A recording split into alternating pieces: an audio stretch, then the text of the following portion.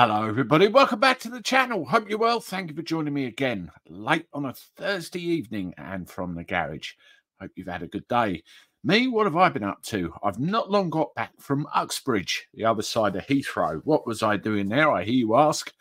I took a load of uh, people up there to go and visit the RAF bunker. Uh, if you've not heard of it, it's a 60, it's about 60 foot under the ground and it's the bunker that uh, controlled one of the uh, Royal Air Force battle groups during World War II. Very interesting, very interesting guy that did the tour. I uh, got a load of video snippets of it, and I will cobble them together and maybe put something on here so you could see what I did during the day. Well worth a visit if uh, that kind of thing interests you. Just to uh, remind you as well, and I'll show you the thumbnail here on Sunday at nine o'clock, I will be having a chat with Preston Journalist, friend of the channel. As you know, he had a bit of a problem where he had his own channel hijacked and he's building back up again.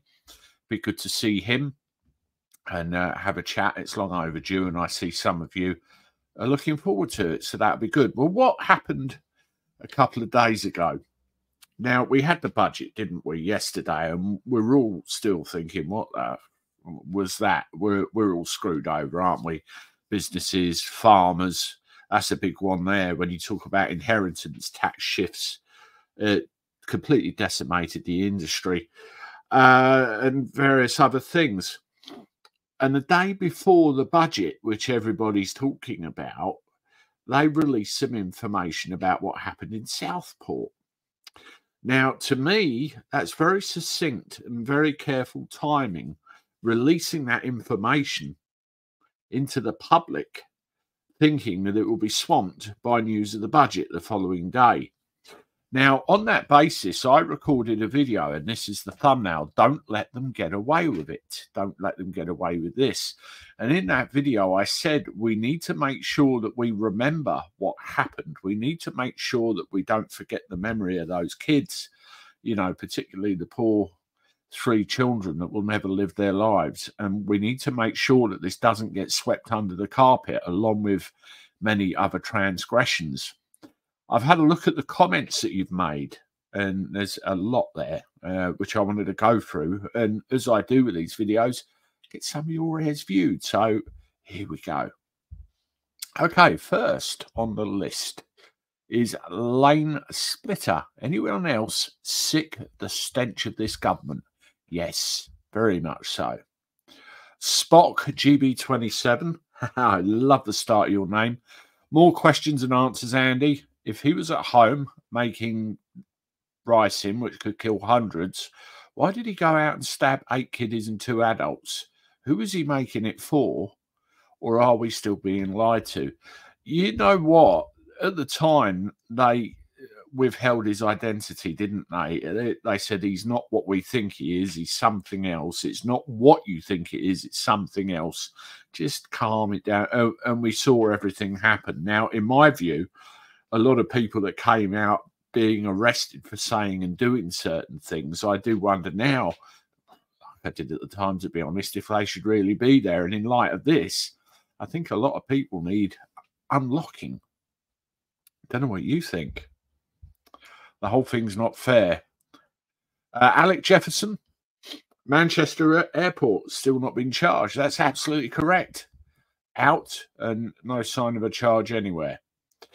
Uh, Canadair CL44. I'm amazed Parliament effectively banning free speech for their own members. Outrageous. That's yeah. There's videos about this, and I've not covered this myself. But hasn't Lindsay Hoyle effectively banned the asking of any questions to do with this subject? Silence in the House of Parliamentary Privilege. I've heard it all now. Just shows you, doesn't it?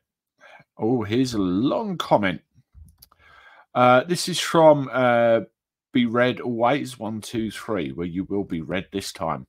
Okay, we're all pissed off, but 95% will just moan and moan. You all know the UK is dumb and semi Islamic Anyway, I'm selling my house in 2025, going to live in a much warmer, kinder, and nicer country than this small, cold, overpopulated, expensive, mean country. If I come back to see my grandkids, I bet I will see you lot the same names moaning on social media in five years' time. Listen, you lot, you're basically wasting your life away in the UK. Sort yourselves out. You know what? I feel like I've just been told, and within that comment, you do have a very good point. You know, there's this there's this movement called Unite the Kingdom. Paul Thorpe, go and have a look at him. And I agree to an extent that we all need to unite. We all need to come together because you have little fractious elements all over the country saying, I'm pissed off with this, I'm pissed off with that. Why is that no? and nobody seems to be getting anywhere. Thousands of people descended on London on the 26th, and regrettably, I wasn't one of them. Wait till next time. I'm coming. And it doesn't seem to have changed. And then you have the thing where Richard Tice come out and said what he said, and everyone lost their shit, and it fractures our side of things. We all need to come together. We all need this common. What do we want to happen? We all need to make it happen. At the end of the day, we put them there, don't we?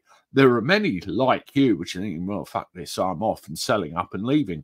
I don't blame you at all. If my circumstances were different, but I think about it, hmm, warmer climates. Uh, I saw some of this at the beginning of the year when I went on holiday, and it's very appealing. But this is this is home. This is our country, isn't it? I have, uh, you know, a different end goal in mind, which I'd like to see for this country, which I've said it involves no parties, a smaller English Parliament, and you know, people in there to represent the good of who they're there to represent instead of all this argue, arguing, one-upmanship and everything else. It's utter bollocks. It really is. And look at the amount of stress, drama, and everything else it's caused this great, once great country of ours. Well, I wish you all the best if you are selling up and everything. I hope it all works out for you. Uh, Leonard, safe driving, Andy. Thank you. I've just got back. Stephen Slater, no rest until Starmer is held to account. I'm sure he will be if not by his own party, sooner or later. Uh, Gareth, does this news allow people to throw bricks at the police? You don't care about young kids, or you would be a ch- children's social worker. You're you're a gobshite cabbie who bores people to death in the back of your smelly cab. Get back to work. Well, Gareth, there's a couple of things I'd like to say to you there. Uh, throwing bricks at police is not the answer. It's never the answer.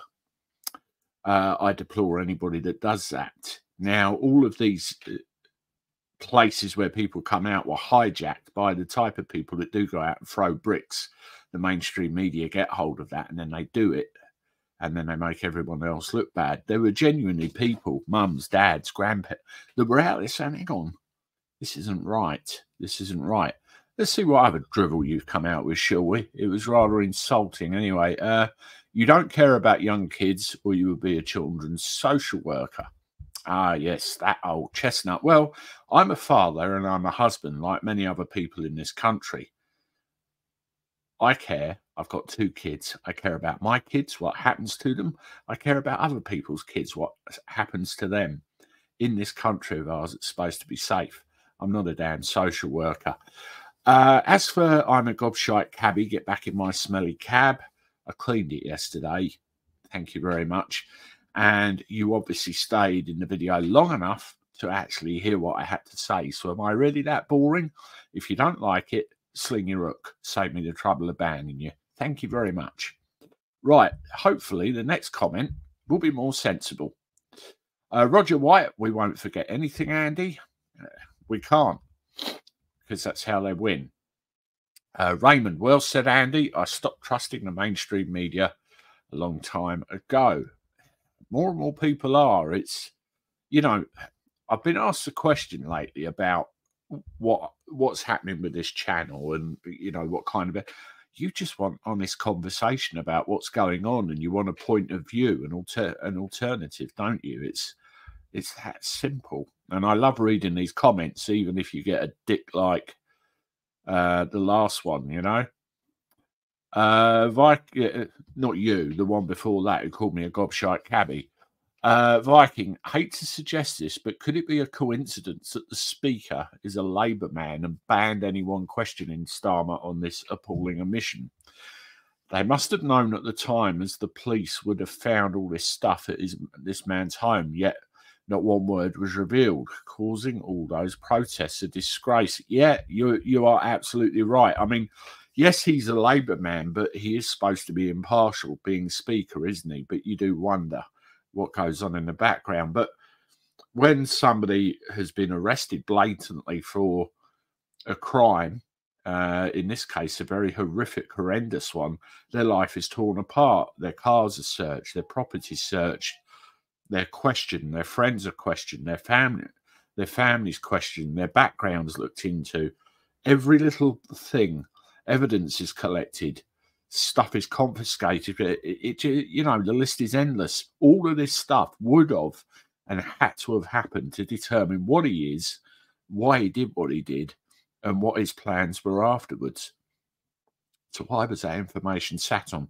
You speak to any police officer. I, you know, I've got retired police officers that watch this channel. I'm, I'm quite happy to, to have one of you on here for a chat. You can tell me how it's supposed to work you know, and that blows the lid on it, doesn't it?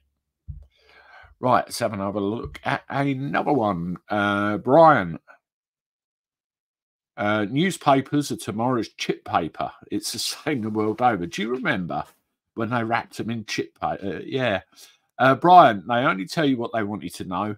If I don't tell you, they put on something to deflect the truth. Correct. That's that's the whole point, isn't it? What we're talking about. Dean Martin, First time I've caught your live stream, I just want to thank you for your hard work on Saturday. I turned our clocks back to the 3rd of July. Five more years of these idiots. God help us. yeah, I know. I know, Dean. Absolutely. Uh, Jack Jackowski, 90% of the murders, etc., uh, where migrants and refugees are involved, are not reported in the MSM. What you have to do is go through all the local town newspapers to find out how many are really happening in the UK today. Like that lady uh, who was by a Somalian refugee, the lady out walking her dog had her head caved in by another Somalian refugee.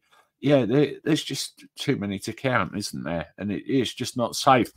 And you know where I where I went to Uxbridge today. Obviously, I was in the London area, and you you talk to people about that area and the surrounds and you know what goes on and what they're like now compared with what they used to be like it's it's a grim picture a grim picture uh Akhenaten 666, that's a hell of a name. I hope I got it right. Uh, the Cold War between the lying government and the truth speakers is turning warm. It will soon get hot. It's time to pick a side. I think it's at boiling point you got you've got a point. Declan Toomey, nothing to see. Keep moving, sheep is what's going on. Uh, Mac West, they do smoke screen all the time. Absolutely. A few more comments here. Charles Wilson, nice one. Spot on, Andy. I think we all know the motivation behind uh, the M Rudders. Nice wording. Thank God for the internet. Probably get a knock on the door from the internet, please. Now, wouldn't surprise me. Uh, Umvu has been a routine tactic by Grubbermint for more than 40 years, from my experience. Conceal an important matter with a matter of less relevance to Joe Public. Absolutely. Uh, Andy Matthews, minimum wage rise. Bollocks. Yeah, you, you just move more people into the tax bracket, don't you? Uh, Photosia, I do not believe the authorities are inept. Far worse. Their actions are deliberate and considered you have to wonder, don't you? You really do. Uh, Mohammed, Andy, nice to see you talking about something other than those so called patriots. Stay with everyday issues, and there is absolutely no need to pander to that particular cult. Mohammed, Mohammed, Mohammed, Mohammed. Now, look, I don't pander to anything. I appreciate your comment. I watch those what you call patriots, and I, I see a. I happen to agree with a fair amount of what they're saying, and you know this is all this thing about we need to be united as a people to get this done. You know, to uh, change this country. It, it's a mess. You you know, uh, and you see groups of and I like being involved with different groups of people to see what their aims are, their goals are, and is it going to make this country better again? Is it going to, you know, I just like to keep an open book on what people are up to and be there if I can and expose what's going on if I can. That's most important. Very, very important. But thank you for your comment. And the last one we'll have is from uh, looks like oh, Michael AR 9944. I made a pig's ear of that. I do apologize. Uh, some people have got short memories. They forget what a disaster for our country the last Labour government was. You are right. You remember the note in the drawer. Such a disaster that Labour went out for 14 years. Who wanted to rubber? Who wanted to rub the left's nose in diversity? Who wrote there's no money left? Labour. That's right. Yes, the Tories were no better, but that wasn't a reason to vote Labour back, nor not to vote at all. People could have voted and put none of the above on their ballot papers. I do not consent. I, I think it's I do not consent. In fact, I'm sure it is, but I I get the I get this sentiment. But they couldn't be bothered.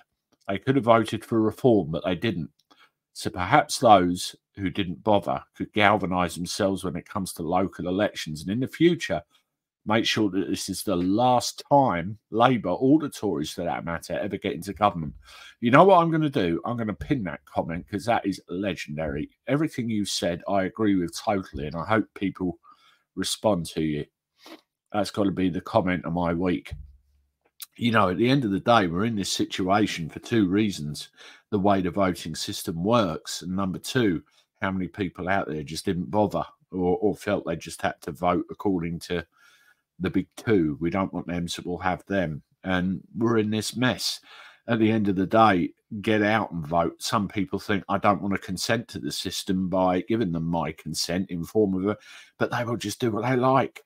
We've seen it. We've seen it. Even if millions of people come out and go, I do not consent, you know, you've got to do something. Otherwise, we're going to get stuck with this forever, aren't we? Anyway, thank you very much, everybody. Apart from one pilchard, I think it's pretty much you you were all fairly along the same wavelength as each other. What I was trying to convey in the video. Not bad for a boring, smelly old cabbie, is it? Anyway, hit the like button, subscribe to the channel if you haven't done so already. That does help uh, YouTube move me around the algorithm and help promote the channel. Doing really well. 108,000 subscribers and climbing. Very much appreciate your support and to the channel members as well. Marvelous. Share me on your socials uh, if you're on there at all. And you can hook up with me across on those platforms as well. And I look forward to talking to you soon. Toodaloo.